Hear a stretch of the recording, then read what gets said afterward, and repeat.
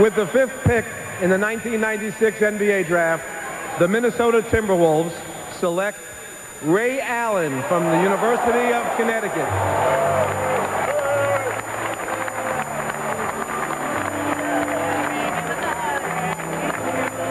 So the parade of underclass. The 1996 NBA draft was the 50th draft in the National Basketball Association, the NBA. It was held on June 26, 1996 in East Rutherford, New Jersey. The draft was broadcasted in the United States on the Turner Network television channel. It is widely considered to be one of the deepest and most talented NBA drafts in history, with over one third of the first round picks later becoming NBA All Stars.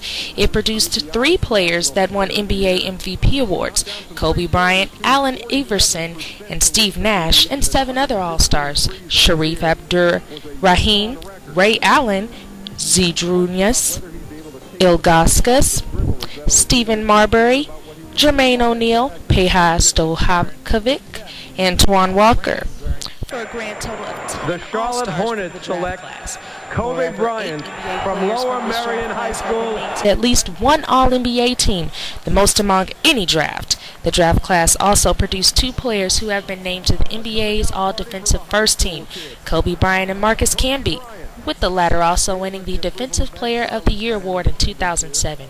Most experts rated along with the 1984 NBA draft, which drafted Michael Jordan, and 2003 NBA draft, which drafted LeBron James, as one of the best drafts in history.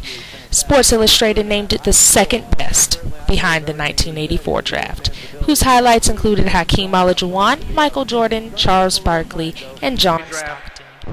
The Phoenix Today, Suns Ray select Allen now Steve plays Nash for the from the Boston University. Celtics and is rated as the top three-point shooter in the NBA currently. Kobe Bryant now plays for the Los Angeles Lakers, and Steve Nash still plays for the Phoenix Suns. CB. Now, who knows whether uh, that is going to happen. So what you're seeing here is Phoenix protecting themselves. This is an organization that did a magnificent job over the last two years getting Person and Finley, and people kind of forget Chris Carr, Mario Bennett, and Coker. And they're doing this organization over, and this is a good start at the point guard position. Kevin Johnson has